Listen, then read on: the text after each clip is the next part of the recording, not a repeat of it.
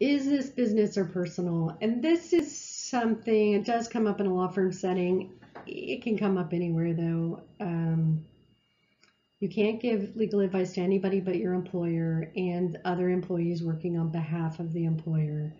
A lot of times people um, won't give you enough information for you to be able to figure that out. And of course, you're there in that mindset of everything I do here is for my employer. I'm you just make assumptions, and you know it's it's exhausting to be ever vigilant for things like this. So you will slip up and um, not realize it until you're in the middle of something.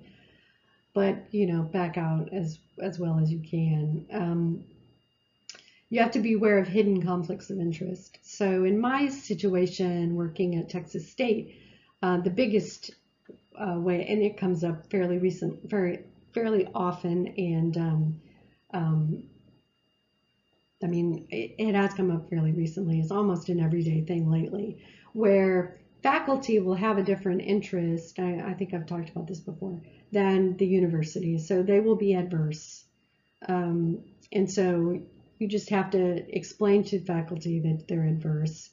They don't like that word adverse, so it's hard to find a, a word that means adverse. Means your interest is different and sometimes in direct opposition to the interests of the university. And in that case, you have a conflict, what's known as a conflict, and um, they, each party should have its own attorney or legal representation. Um, and I shouldn't be helping both sides. I should only be helping the employer, not um, not the other employee um, in this particular instance. And it comes up with people will bring around their gripes about employment law and, and, and you know if they know you have any kind of legal information or legal background, they'll they'll ask you, well, you know, do I have a case or is this, you know, and you just have to say, I can't talk to you anymore about this. I can't talk to you about this. It's just, uh, it's not a good, it, you will get yourself in a bad situation and it's not a place you really want to be anyway, is grousing with other people about stuff that could get you fired, you know. Um, one way I always did a could deal with whether I knew if it was business or personal. And this is probably not a good idea, but it helped me. You know, in the long term, which is probably, you know, why I'm not a law firm librarian anymore. But I would always ask for a client matter number, which is one way of saying what is the billing number for this matter. Um, not that I'm going to bill my time, We'll talk a little bit about billing, but in a law firm setting, every client has a number or some kind of identifier. It's usually a number. So every client has a number. And then every matter for that client, so say there's like um, a real estate contract going on, that has its own number. And say there's a, um, a, um, a lawsuit going on, that would have a different matter number. And the reason they use these numbers is so that it, it helps with confidentiality. So you don't have to be always slinging names around and keep things uh, confidential.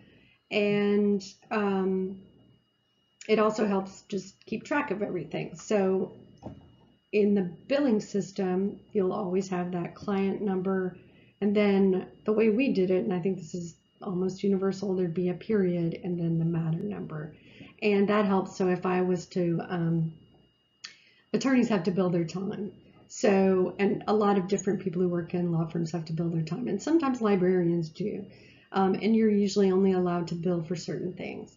So, say I'm going to do some research, then I'm going to bill my time for that research. And sometimes librarians do bill for research time.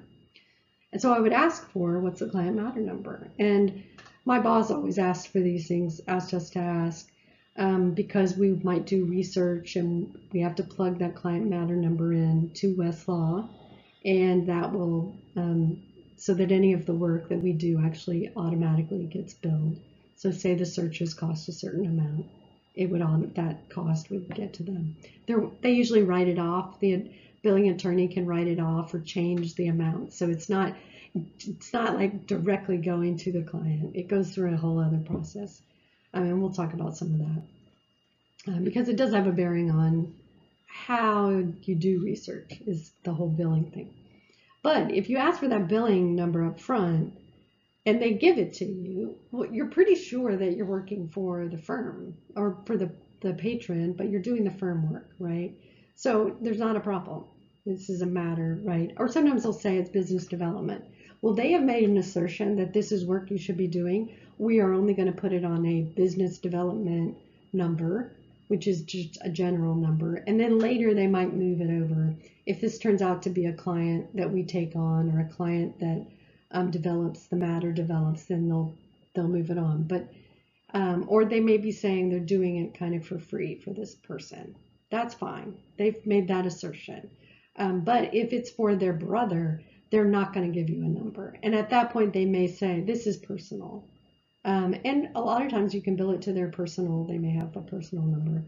Um, or they just um, may, may get really mad that you even asked um, because they didn't want to tell you that it was personal, but it is. So it, uh, it's just weird. So there's you run a little bit of risk asking for it, but if it's routine, then it's okay. So this is just for if you work at a law firm that you really don't have the same kind of opportunity when you're in an academic because we don't bill. Um, business development, um, and I'll just explain what this means. It could mean it's a potential client, so they're working on it, but they haven't yet signed any kind of agreement with the client. Um, could be it's for a friend and it's not work related, but they're just saying it's business development.